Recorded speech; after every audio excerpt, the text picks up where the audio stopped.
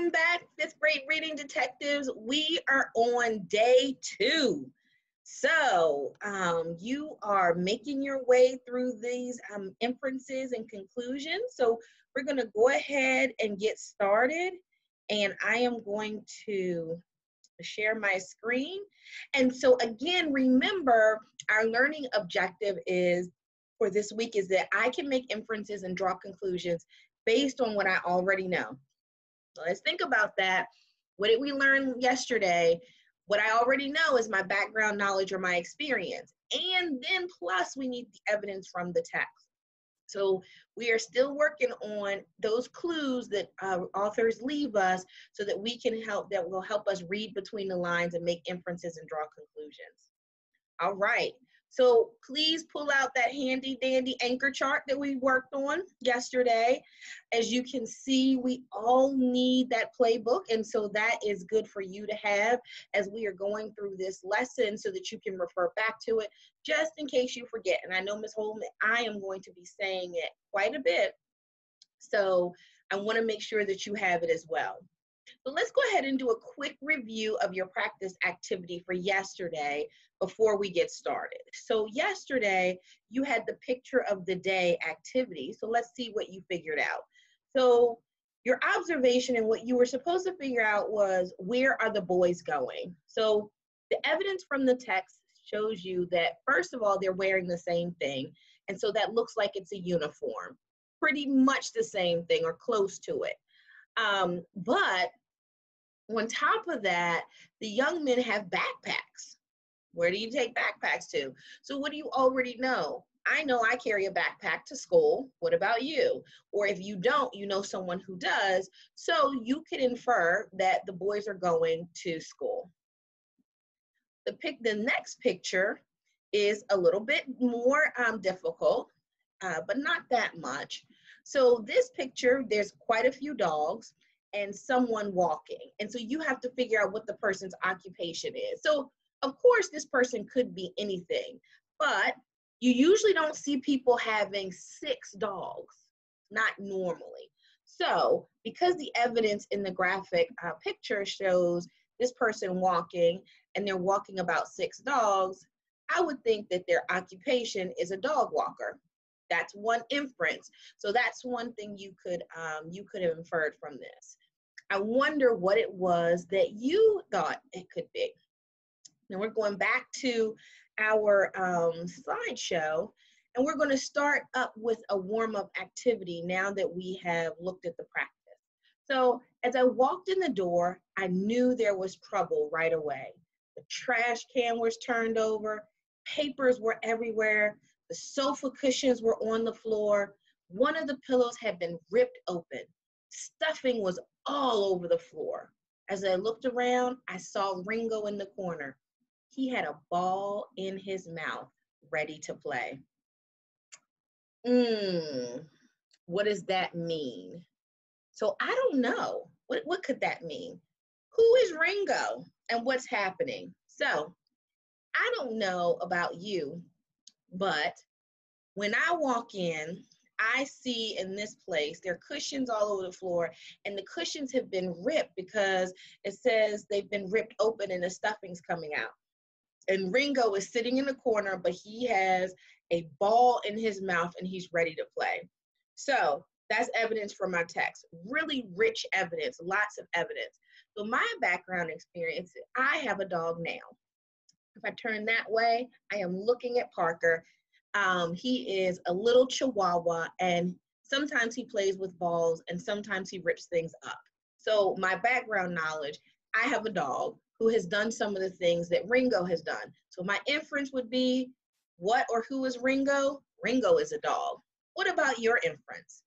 Do you have any other experiences that would lead you to believe this? And if so, why? So you always have to back it up with why. And the why goes back to the text. All right? The why goes back to the text. So, do you have an inference?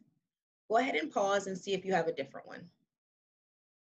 All right, so we are going to go ahead and we are going to uh, start jumping into some nonfiction text. Now, we started with the pictures. We started with these short snapshot warm ups, but now it's time to get our hands dirty and we're going into some text with our reading detective um, caps on and our anchor chart for our playbook, and we are ready to dive in. So let's go ahead and start reading Great Wall, Great Jump.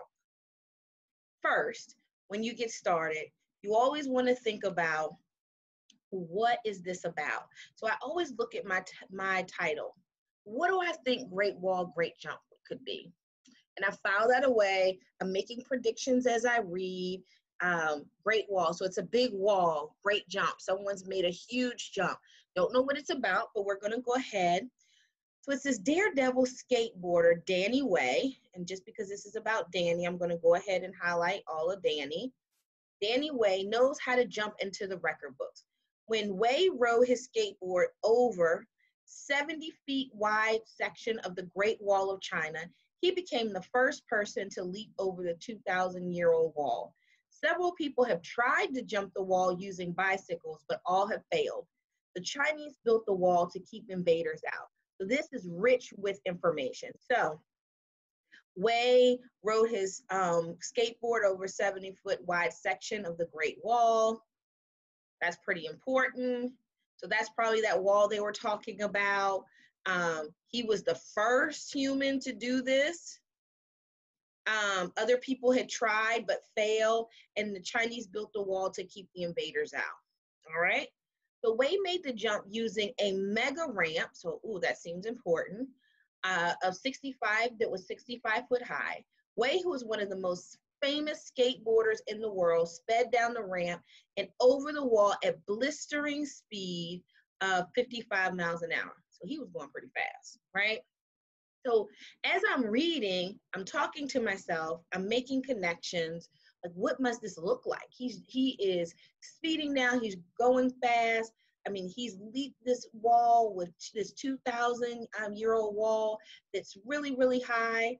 And he says, I'm aware of the dangers and my heart was pumping in my chest the whole time, but I managed to pull it off, right? So what does that mean?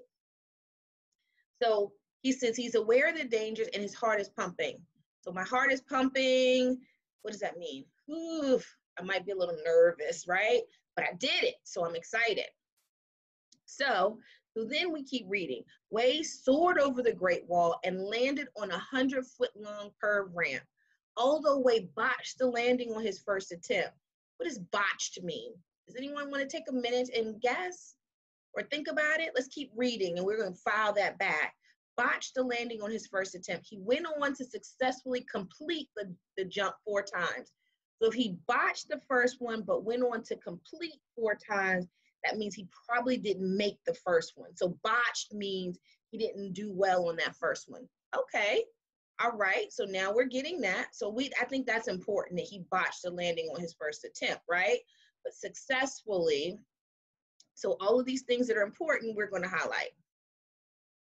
And Ms. Holman's probably highlighted too much.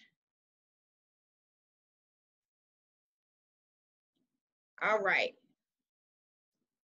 So after the jump, the Chinese Minister of Culture presented Way with a small gift. So now he gets a gift. All right, so we're gonna do that. I came to China with a goal, and that was to jump over the Great Wall, Way told the reporters. I have accomplished that, and I felt like my job is done. I am honored to have my visions embraced by the people of China. Okay, so he's honored. Why do you think he's honored? So let's look at some questions. The decision that probably helped Danny succeed where others failed was the gravity defying spins, the use of a high ramp and skateboard, the use of a bicycle. So let's go back to the text because remember evidence important is important. So did he use a skate? Uh, did he use, let's see, the evidence of a bicycle? I'm sorry. So C was the use of a bicycle. It says several people have tried to jump the wall using a bicycle, but all fail. So that can't be the answer. So if C is not the answer, D can't because it can't be all of the above. So it did say he did some gra- gravity defying spins, but the decision that probably helped him succeed Other people use the bicycle. What did he use? He used the ramp and he used the skateboard. So our answer would be B. That would be my inference. And remember, as detectives, we went back to the text to help us in our own experiences. So the arrangement of ramps on both sides of the Great Wall must have looked somewhat like, so let's go back and look at what it says. So it says there was this mega ramp that's six feet high and it is 70 feet wide and he is coming down the ramp at 55 miles an hour, which is fast. What does that seem like to me? My experiences, and I'm going to tell you, I'm a little bit of a scaredy cat, but that sounds to me, does it sound like a bridge? Nah. A railroad crossing? No. Not a parking lot, but it sounds like a roller coaster. I would get scared about that, but it does sound like that. And that's what our experience is. If you've been to Kings Dominion, you know they have those roller coasters that go really, really high and then drop, drop. So that's where that is. When Wade says, I managed to pull it off, he means what? And we talked about this earlier. Pulled a muscle, tricked everyone, was successful, or was able to pull the skateboard off the wall. He was successful, right? He did something no one else did. So when he said, I was nervous, remember, let's go back to the text. He said, I was aware of the dangers and my heart was jumping. We talked about how when your heart's jumping, but you're aware of the dangers, you're probably a little nervous, but I managed to pull it off. And what did it say in the very first paragraph? He was the first human to do it. And finally, Danny has a lot of determination. That is clear from he hit his feet, he hit his feet in spite of fear. I'm sorry, he did his feet in spite of fear. So feet is the action of actually going over the wall. So he did it in, in spite of being a little bit fearful and knowing the dangers. He tried something everyone else had failed. Well, we know that. It says that in the first paragraph. He kept it at it in spite of an imperfect first attempt. So remember, that's where we talked about botch. He botched the first time, but he kept going and he had successful jumps after that. So this one would be all of the above. And then why does Way, why is he honored by the people of China? Well, they embraced his vision. They gave him a chunk of the wall itself. So there's a couple of just uh, evidence pieces in the text that help us uh, figure that out. So we finished Great Wall Jump and we were able to use our detective um, hats to help us. So you're going to need, uh, you're going to continue to need your supplies for your pen or your pencil and crayon. When we do things like that, just like I did use my highlighter, when you go to your practice activity, I wanna make sure that either you have a highlighter or crayon if you have the text, and if you don't, that you can make notes off to the side with your pen and pencil. So make sure, just like our handy dandy playbook of an anchor chart, you keep your supplies with you. But going back to Great Wall, Great Jump, Wade was pretty cool, right? He used a skateboard. He did something no one else has done. Despite being um, fearful, he did it anyway. So you can infer a lot from that. So, in wrapping up today, what did we learn? What are three things you already knew from this lesson? What are two things you learned during this lesson and one thing you're interested in looking in further? So if I would say three things that I already knew, I knew about um, I knew about making inferences and drawing conclusions because we've talked about that. I knew that my experiences matter. And then I also knew that I have to be a detective and read between the lines. And what are two things I learned during this lesson? Well, I learned about Way and his determination, but I also learned about how to stop and highlight and read between the lines when I'm looking at a piece of text. And what's one thing I'm interested in looking into further? Just continuing to use my detective cap to um, make inferences and draw conclusions. So with your pen and pencil, I wanna make sure you do the three, two, one activity as well. Continue to remember our learning target this week. I can make inferences and draw conclusions based on what I already know, and that's my background knowledge and evidence from the text or picture. And before you go, I want to go ahead and make sure we go over your practice activity. So we did a nonfiction or informational text during the lesson, but for homework, I'm switching it up just a tad bit. And we're going to do a different type of text. So we are going to pull that up. And let you see that. And while that's going, you can go ahead and go ahead and do your three, two, one activity. What are the three things you already knew before the lesson? What are two things that you've learned? And go from there. And if this does not come up, it's absolutely okay because the activity is there and we will review it tomorrow. So just go ahead and go to the activity on your practice section and make sure that you go ahead and participate and we will review this activity tomorrow when you get back. And I am looking forward to seeing you again tomorrow. Have a great rest of your day.